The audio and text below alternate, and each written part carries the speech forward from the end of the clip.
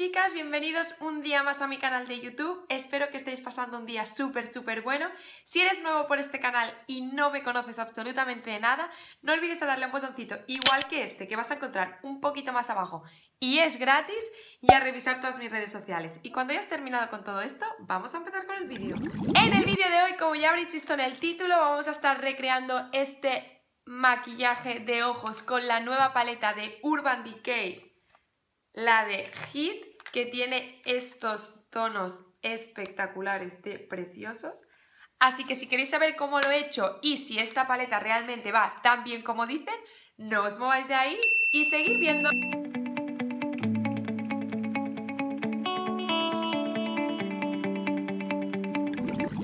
Lo primero que voy a estar haciendo es aplicar un poquito de corrector en el párpado de mi ojo, lo voy a estar difuminando con los dedos, eso lo estoy haciendo para que la sombra pigmente más y nos dure más. Ahora sí, ya vamos a empezar con las sombras. El primer tono que voy a usar va a ser un marrón muy, muy clarito, que lo voy a estar usando como siempre como tono de transición. Voy a empezar primero por el lateral de mi cuenca y lo voy a estar difuminando súper súper bien, ya que es un color de transición y lo que queremos es que quede bien integrado con la piel, que apenas se note que lo hemos puesto. Voy a seguir con los tonos de transición, en este caso voy a coger un marrón un poquito más oscuro y voy a estar aplicándolo igual que el primer tono. Lo voy a estar aplicando de afuera hacia adentro, difuminándolo muy bien con el primer tono y con nuestra piel. Ahora sí, para empezar a dar profundidad a mi ojo, voy a empezar ya con los colores un poquito más oscuros.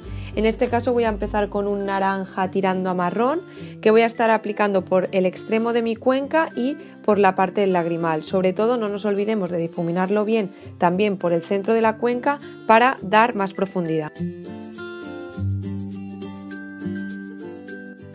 Para seguir dándole profundidad a mi ojo, ahora voy a coger un tono un poquito más tirando a rojizo y voy a estar haciendo lo mismo que he hecho con el tono anterior, sin olvidarnos de difuminar todos los colores.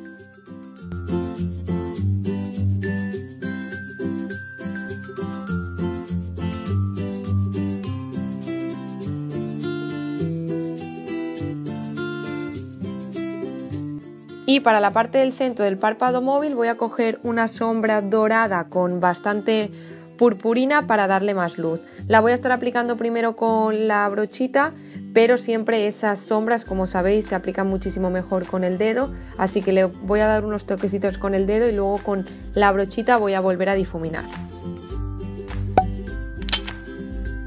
Y el último tono que voy a estar usando va a ser un tono de sombra tirando a blanco que voy a estar aplicando en el hueso de mi ceja para dar más volumen y luz. Y para terminar con nuestras sombras voy a estar aplicando los mismos tonos que he usado pero por la línea de agua. Ahora voy a coger el iluminador en barra de Zoeva y me lo voy a estar aplicando en la puntita del lagrimal para dar luz.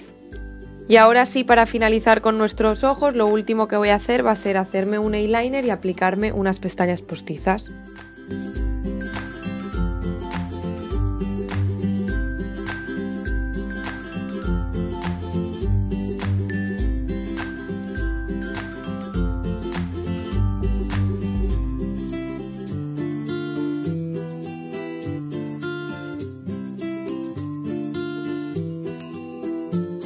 Ahora ya vamos a empezar a maquillar nuestro rostro. Como siempre, lo primero que vamos a aplicar es nuestro primer. Yo voy a estar usando el primer de L'Oreal, el Infalible 24 horas, ya que me voy a estar aplicando la base de L'Oreal también Infalible 24 horas. Seguidamente voy a coger el corrector de Maybelline, me lo voy a estar aplicando en la parte de las ojeras, en el centro de la barbilla, en el arco de cupido en el hueso de la nariz y en el centro de la frente. Y todo esto lo voy a estar difuminando con la Beauty Blender.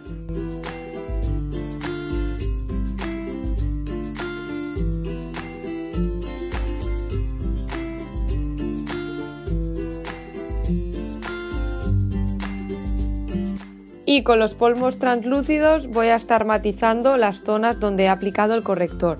Todo esto también con la Beauty Blender.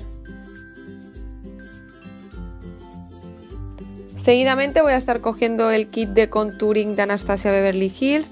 Voy a estar utilizando el tono del medio, el que no es ni claro ni oscuro.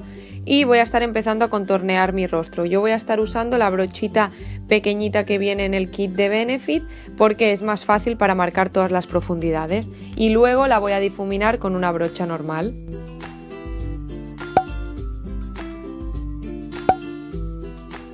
Ahora con el kit de iluminadores de Anastasia Beverly Hills voy a empezar a iluminar nuestro rostro eh, por la parte de encima de nuestro pómulo, por el hueso de la nariz, la puntita de la nariz y el arco de cupido.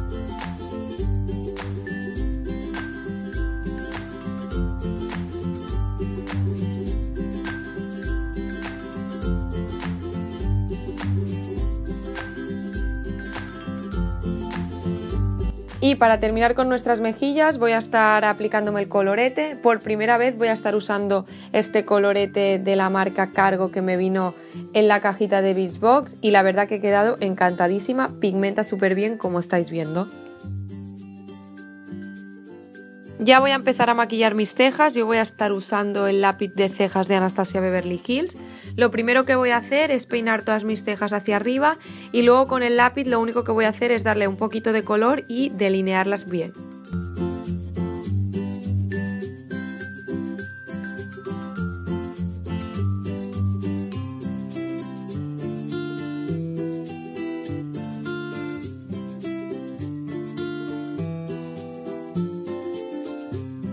Y ya para terminar con nuestro look voy a estar aplicándome máscara de pestañas en las pestañas de abajo y voy a estar usando para mis labios el labial mate de NYX el número 32.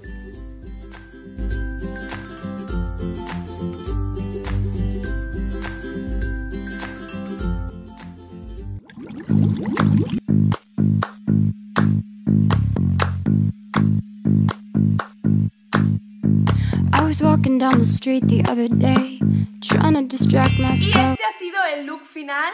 Espero que os haya gustado muchísimo. La verdad que yo he quedado encantadísima con esta paleta.